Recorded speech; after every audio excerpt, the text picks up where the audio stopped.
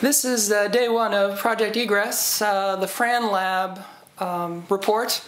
Um, just started doing it today, and uh, part of the uh, day's itinerary was uh, well, actually, I mean, technically it's like day three because I had a few other days where I had to really decide if I was going to be in. And yesterday I spent the day gathering materials. I went all around town grabbing like uh, parts and such. Um, so you know, and also evaluating ideas of how I'd fabricate this and over the last 48 hours or so, I've uh, come up with several different permutations of the assembly.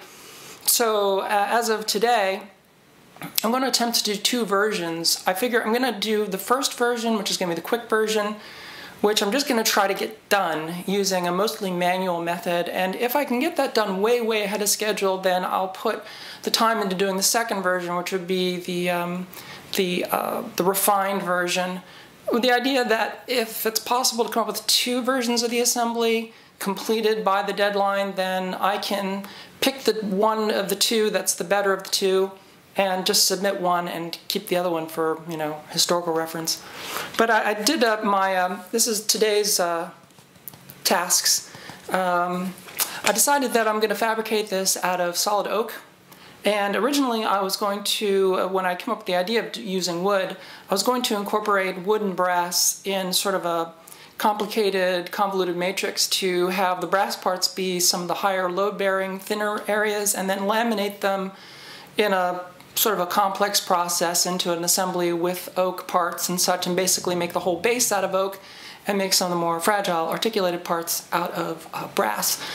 Uh, but I now I've, I've, after I've examined it uh, in my headspace uh, after like 48 hours and after um, getting the um, hardware, I really thought that well with solid oak, I really should try to do a complete oak version uh, to start, and that's what I'm going to do. And it's going to be partially roughed out uh, with CNC using my Shaper Origin, and then hand tooled down into final parts. And there are two parts of the assembly that I think are going to be particularly hard to do, which I'm going to have to do mostly in a manual process, and um, that would be, this is my cheat sheet, my quick sheet.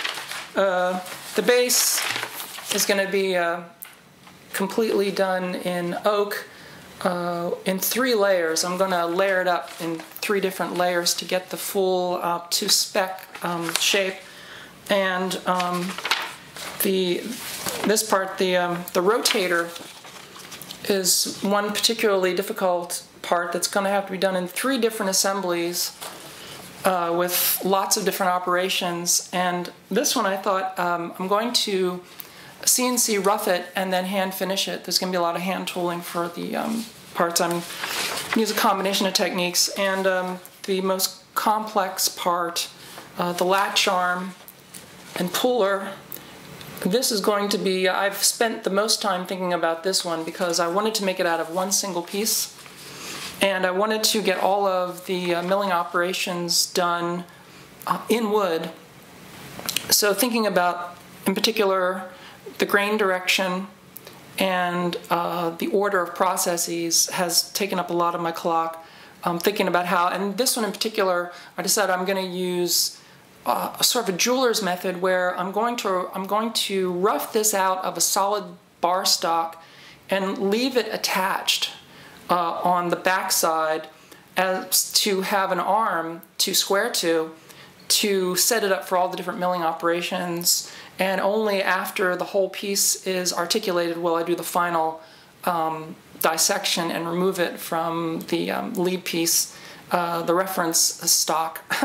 Uh, but that's going to allow me to keep it, put it in a vise, to hand, to hand tool parts, and also to clamp it down to a mill because I might end up using uh, my friend Scott's uh, mill to do some of these. But that that led me to the second thing that if I got it made out of wood first and got a completely oak version done, if I felt confident that I would invest the time to get my milling chops up to actually just do an entire assembly out of solid brass, but but it would require hundreds of milling operations and my lack of experience there'd be an intense learning curve and I, I, just wasn't confident that i could go right to brass and do the whole thing out of metal.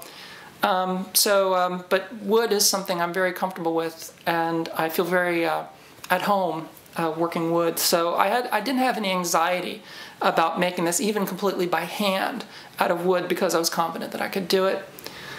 So um, yeah, the, and some of the other parts like the uh, uh, the actual uh, latch link. The latch link uh, would was the first part that I thought would be made out of wood. It actually, going for the whole wood assembly, came from the idea that I wanted to make the latch link out of wood. Uh, but then after that, I thought, well, you know, given the tolerances of the latch link, why not just make the why not make the the latch puller out of wood, and then why not make the rotator out of wood? And then uh, I was going to make the rotator out of a combination of wood and brass. And then after really pondering as well, I'm using oak. So if I get the grain direction correct, and if I really examine my stock, I, I should be able to make the whole thing out of oak. Uh, so, yeah, there, has been this intense process. I haven't really slept much. I, at night, I've been lying in bed, going over the permutations. One of the things about the difference between um, Adam Savage's methods, uh, based on the book uh, that he wrote, and mine. Um, particularly with the lists and everything, is that uh, I, I really, I mean, I, I do lists uh, when I'm actually in the for day-to-day tasks.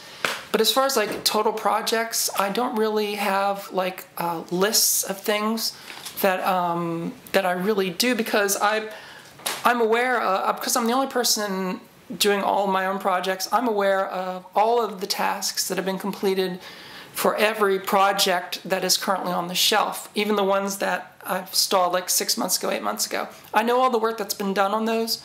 I know all the work that has to be done yet and I've already, because I, I do a front to back um, projection in my mind space before I even begin a project, I already am aware of the processes that have to be done on all those projects, including this one, um, to come. And I've already calculated the time and, and the, the kinds of work that have to be done and the tools that would have to be built and the problems that have to be solved to reach all those goals and all those projects. So I, I rarely get to the point of. I mean, if you look around the office, as far as lists go, uh, you know, I've got, yeah, I've got you know a pile of lists here on my calculator that goes pretty deep. I've got a, uh, I've got a pile of. I keep this side table again. This is just piles of lists for for other projects, and. Uh, I've got uh, other piles of lists over here, again, that uh, for other projects. So yeah, I, have I've lists all over, and I have other ones out there. So I, I'm, I'm not short on lists, and like when I'm doing specific tasks, like when I was sourcing parts, you know, I made up this uh, list with an extension. Uh, but this is something that I just I took all this with me just to go to the hardware store just to get the fixtures and the uh, source uh, the materials and stuff going to you know the sizes of stock and stuff that I need and so my the lists that I do are usually for daily tasks and usually for specific parts of a single task um, so and uh, these are the mission statements I got uh, from the uh, Team Savage uh, crew. Uh, we all have our own little mission logs uh, in the and so I, I as an attention to detail, um, of course, reading the book about how much Adam Savage loves the idea of lists and like authentic documentation, the idea that all of the documentation that they put on this project is exactly the same as the uh, electrostatic uh, copies that were uh, circulated um, in the original uh, mid 60s Apollo programs, complete with uh, stamps with the actual stamps and uh, and side notes and some of the original graphics and you know typed out and having the, the same fonts and everything. I, I, I definitely appreciated the attention to detail having uh, pored through so many of the original NASA documentation for my both my LVDC project and my um, uh, AGC DSKY Display project. I've gone through lots of uh, um, 60s era uh, Gemini and Apollo era, um, you know, notes. so I really appreciated this, especially all the look handwritten notations and stuff that you get in those Apollo reports. So, uh, so yeah, so um, even though they supply STL files for like 3D printing, uh, this is the problem with the incompatibility in all these different platforms because STL files are pretty much today kind of ubiquitous as far as 3D printing, but the one um, fabrication machine that I have capable of doing CNC is the Shaper Origin, and that product was never designed to do um, STL files or to do DWG files, DWG files from AutoCAD, which is my huge frustration with the Shaper Origin because it was only main, meant to be uh, driven by vector files from Adobe, uh, from Illustrator or Photoshop. So unless you're, so you, you have to render a file, a vector file in Illustrator to be able to communicate with the Shaper Origin. You can't just dump an STL file in there. And um, so in order to use the Shaper Origin, I have to go through this very convoluted process of rendering a raw um, DWG, DWG file uh, in AutoCAD and then transferring those as 2D files into Adobe Illustrator and then using Adobe Illustrator to convert those files into a vector file that uh, a single layer at a time that uh, the shaper can actually uh, understand. And there are, there's compatibility issues because I've had some scaling issues in this process where even though I'm going by millimeters or whatever, that um, I've had some dimensions, like for some reason the X dimension will be over like 3% or some odd uh, value. So, so yeah, there, there are some um, there are some complications, and also because I can't directly convert the STL files into anything that the origin can understand, I'm going to have to draw raw files going by the drawings and just um, even though these going by the paper drawings, and I'm going to have to make um, DWG uh, raw files to um, rough out the blocks uh, just to get some of the critical um, dimensions and such for parts of the assembly. And then I'm going to have to hand finish and hand shape to the paper drawings uh, for the individual components for the finishing for the wood version.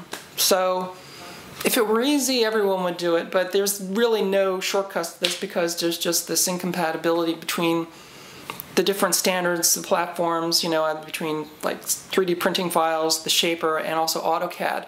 All, three different platforms all of which that I, you know, I'm proficient in AutoCAD, but uh, you know, uh, but there's a lot of processes I have to go through just to convert that work. So getting around the incompatibilities, hopefully, you know, um, you know, I'll have to, you know, be very diligent in checking to make sure that all the tolerances are actually on and that there aren't any weird variations in the milling and such. So it's going to be a painstaking process to get this together, uh, to be sure. Well, that's it for the update on day one. Um, I'm going to spend the rest of the day. I've got to get um, you know a mission log template together so I can do the uploads to the um, to the uh, Project Egress uh, server, and uh, I've got to start uh, roughing out the uh, AutoCAD files so that I can um, have uh, some at least some, some starting templates to export tomorrow to, um, to begin um, the work. And over at the other space, the factory, uh, just for the purpose of this uh, project, I'm going to have to build a new tool. I'm going to build um, a working platform um, that I can adjust for varying thicknesses of stock so that I can uh, have just one working platform for the, the origin that I can retrofit uh, raw stock into to mill it out and then keep and have it's going to be a, adjustable platforms for different um, thicknesses of stock. So that with one single target area one single work area that I can program into uh, the origin that I'm going to be able to replace the, uh, the stock to mill use it as a standard template for all the different parts and uh, so that I can get the highest precision and also cut down my waste and also my time for doing all these different attempts where I can um, vary the, the thickness of the stock and you know keeping into consideration all of the um, restraints that I have to accommodate to to stay within the parameters in which the origin will function, which is another level of complexity that you ne don't necessarily have with a, like a regular mill, where you can just, you know, as long as you find as long as you find zero, and have the stock in, you can pretty much, you know, just work the mill from there. But Origin has all these rules about it, the environment that it has to work in and the, the targets that it has to see. And, you know, everything's got to be, you know, coplanar. So there are all these restrictions. So I have to build a tool to eliminate all those variables and all those issues right at the start um, so that I can just keep reusing the same work surface and the same work area it's going to save me a lot of time in the long run, but it's going to take me a couple days to work out the issues, actually build this workspace tool for the origin for this project. That's going to take me a couple days um, next few days uh, like i work out those issues. But having done that then hopefully by the time i get that you know that new tooling surface built i'll have the uh, autocad files at least most of them roughed out and have some uh, origin files that i can dump in there at least do some test mills and check the tolerances and such but once i get those problems worked out i should be able to get to the working of the wood very quickly. Um, I'm pretty confident in the speed in which I can do the handwork stuff, but actually, but getting the precision angles, parts, vectors, sizing, all that, you know, the roughing out of the blocks, it's going to be the critical thing because once they're roughed out and and all the critical holes and things are done to tolerance, well then I can hand finish the interiors and all the little things and everything. I can work very quickly with wood. So, okay, that's it for uh, day one, Project Egress, the Fran Lab portion. Yeah, uh, I don't know how many of these I'm going to do. I don't know if I'll do this daily. I might do like a daily after. I might do every few days.